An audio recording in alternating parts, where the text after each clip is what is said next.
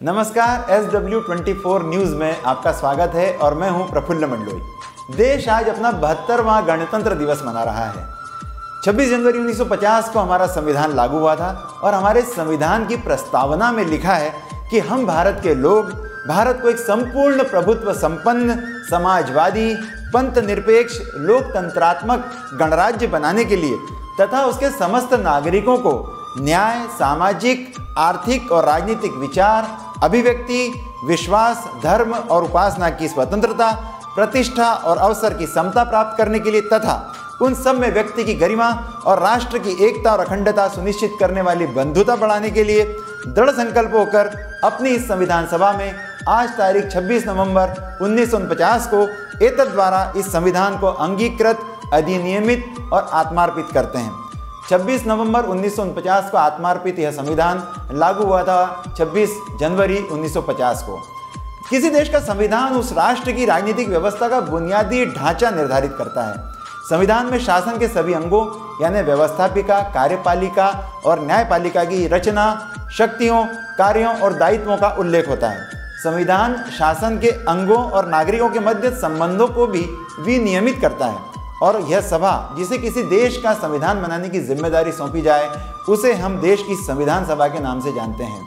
हमारा संविधान जिस संविधान समिति ने बनाया था, उसके दो सौ निन्यानवे सदस्यों में से हमारे निमाड़ और मध्य प्रदेश के गौरव पद्म भूषण पंडित भगवंत राव मंडलोई भी एक थे। और आज हम पंडित भगवंत राव मंडलोई को ही केंद्र में रखकर गणतंत्र दिवस की बात कर रहे हैं। पंडित भगवंत राव मंडलोई भारतीय राष्ट्रीय कांग्रेस के राजनेता और मध्य प्रदेश के मुख्यमंत्री रहे।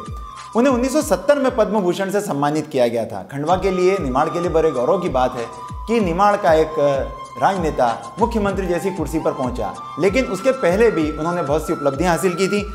पंडित भगवंत राव मंडलोई का जन्म 10 दिसंबर अठारह सौ बानबे को खंडवा में हुआ उनके पिताजी, स्वर्गीय अन्ना भाव मंडलोई और माताजी नथुबाई मंडलोई थे।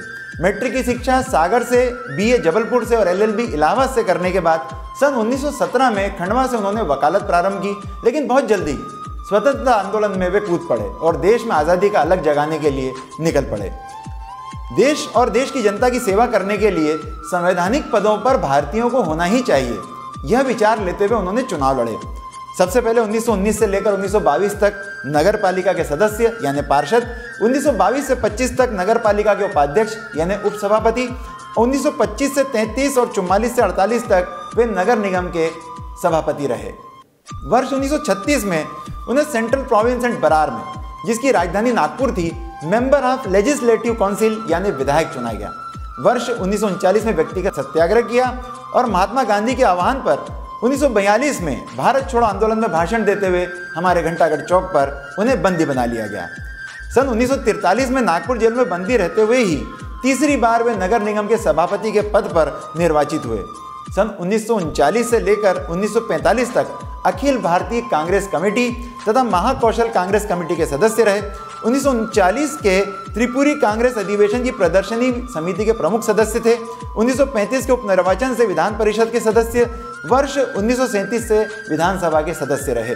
संविधान सभा के सदस्य और संसद सदस्य भी पंडित भगवंत राव मंडलोई रहे हैं। वर्ष उन्नीस सौ बावन में जब प्रदेशों का पुनर्गठन हुआ तो प्रदेश की राजधानी नागपुर से उठकर भोपाल आ गई और हमारा नया राज्य मध्य प्रदेश अस्तित्व में आया।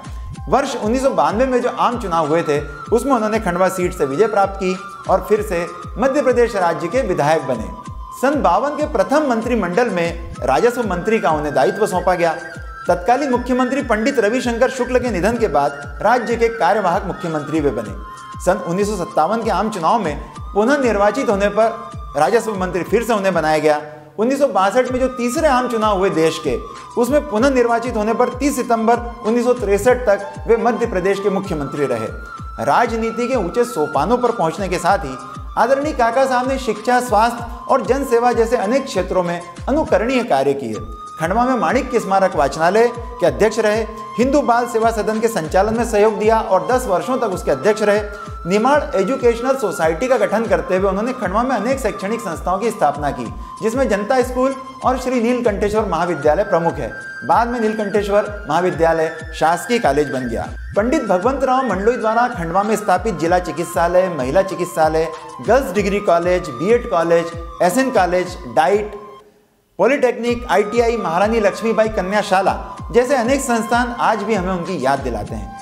मध्य प्रदेश की राजस्व संहिता के लेखक संविधान निर्माण समिति के सदस्य के रूप में उनका योगदान कभी भुलाया नहीं जा सकता। भारत शासन ने उन्हें पद्म भूषण की उपाधि से सम्मानित किया और हम सबके दिलों में तो वे हमेशा अमर हैं ही।